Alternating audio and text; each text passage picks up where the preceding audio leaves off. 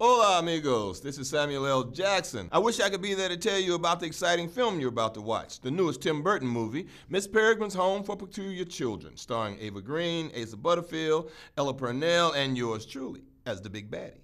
And you know you're gonna love it. So just sit back and enjoy the film. Oh, and don't forget to share your comments after the film. We'll be reading them. There's a new world.